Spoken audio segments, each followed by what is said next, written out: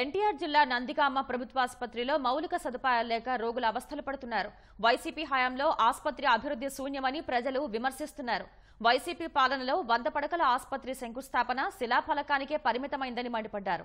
ఆసుపత్రి అభివృద్ధికి ఎలాంటి ముందడుగు పడకపోవడంతో రోగులు తీవ్ర ఇబ్బందులు పడుతున్నారు. రోగుల ఇబ్బందుల దృష్ట్యా నందిగామలో వంద పడకల నూతన ఆసుపత్రిని త్వరితగతిన నిర్మించాలని స్థానికులు కోరుతున్నారు. అస్వస్థతగా కింద పడ్డాడు. ఏ హాస్పిటల్కి వస్తే చూసి తనకి పక్షవాతం వచ్చే సూచన ఉందని చెప్పారు నాకు. అది ఎంతవరకు నిజమో మాకు తెలియట్లేదు. ఇందులో పరికరాలు లేవు ఎక్స్రే ఎక్స్రే లేవు ఈసీజీ లేవు. ఈసీజీ చెప్తే సక్రం ఈసీజీ కూడా సక్రం లేవు. మరి ఏదైనా చూస్తే గత ప్రభుత్వం ఇలా ఇచ్చారని అని చెప్పారు నన్ను. ఏదైనా చూసినా చిన్నది వచ్చినా సరే పాము గరిచినా పేలు గరిచినా ఏది గరిచినా ముందు ఇమ్మీడియట్ డిజార్జ్ పోమన్నారు మరి హాస్పిటల్ గవర్నమెంట్ హాస్పిటల్ ఎందుకు ఉంచారో ఏమో మాకైతే అర్థం కాలేదు నందిగామ ప్రభుత్వ హాస్పిటల్లో చిన్న విషయం వచ్చినా గవర్నమెంట్ హాస్పిటల్ అందుకని ఏమీ లేదు. ఏసీ తీయాలన్నా ఏ తీయాలన్నా కూడా నందిగామ ప్రభుత్వ హాస్పిటల్ అభివృద్ధి లేదు.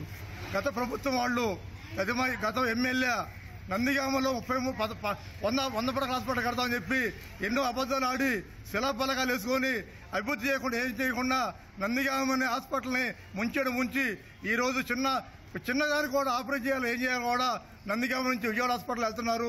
ప్రభుత్వం వాళ్ళు ఈరోజు తెలుగు ప్రభుత్వం వచ్చిన తర్వాత ఈ అభివృద్ధి చేయాలని కోరుకుంటూ సెలవుతున్నాం వసతులు వైద్యం అందక రోగులు చాలా ఇబ్బంది పడుతున్నారు.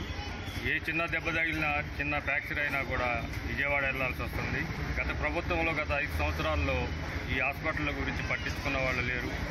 టయానికి డ్యూటీ డాక్టర్స్ కొంతమంది ఉన్న పోస్టు పూర్తిగాక డాక్టర్స్ అందరూ లేరు. అలాగనే అవుట్సోర్స్లో ఉన్న సిబ్బంది కూడా పూర్తిగా లేరు. ఉన్నవారికి కూడా దాదాపు పది నెలల నుంచి ఇప్పటికీ జీతాలు రావట్లేదని చెప్పడం జరుగుతుంది.